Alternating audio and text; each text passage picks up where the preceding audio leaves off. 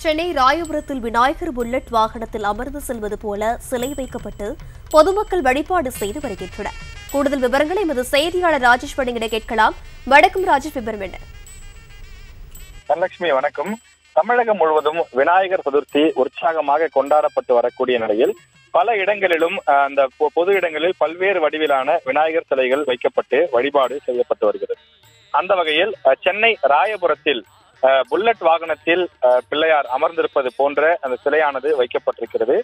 விநாயகருடன் எலி அவருடைய வாகனமான எலியும் உடன் அமர்ந்து கொண்டு புல்லட் வாகனத்தில் பயணிப்பது போல சிலை வைக்கப்பட்டிருக்கிறது. அந்த பகுதியில் இருக்கக்கூடிய பொதுமக்கள் அனைவரும் அவர்கள் வீடுகளில் இருந்து தொகையை அவர்கள் சேகரித்து அதன் மூலமாக இந்த விநாயகர் சிலை வாங்கி வழிபாடு செய்து வருவதாக அவர்கள் தெரிவித்திருக்கிறார்கள். சுமார் பத்து அடி நீளம் கொண்ட இந்த விநாயகர் சிலைக்கு வீடுகளில் இருக்கக்கூடியவர்கள் பூஜை செய்து தற்போது அவருக்கு அந்த விநாயகர் சதுர்த்தியானது கொண்டாடப்பட்டு வருகின்றது.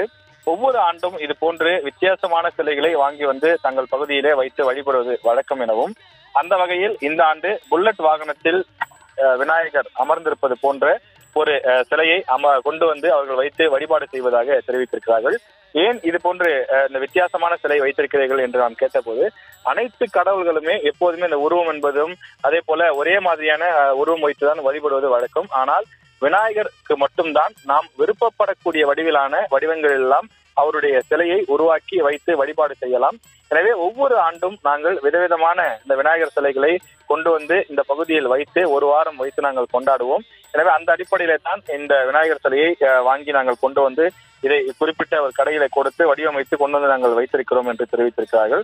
சுமார் பத்து அடியிலே வைக்கப்பட்டிருக்கக்கூடிய இந்த விநாயகர் சிலைக்கு பொதுமக்கள் தங்கள் வீடுகளிலிருந்து கொண்டு வரக்கூடிய எருக்கம்பூ மாலை அதே போல தேங்காய் பழங்கள் போன்றவற்றை எல்லாம் படைத்து அவர்கள் தொடர்ந்து பூஜை செய்து வருகிறார்கள்.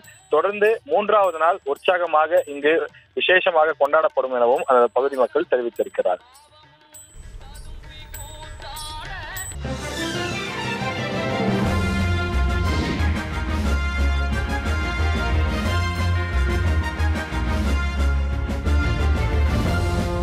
தமிழ் செய்திகளின் புதிய அடையாளமாக. உங்கள் காலை பொழுதின் புதிய அங்கமாக நியூஸ் தமிழ். செய்தி வழங்குவதில் உலகத் தரம். இணைந்திருங்கள். காலை ஆறு மணியிலிருந்தே உங்கள் நியூஸ் தமிழோடு.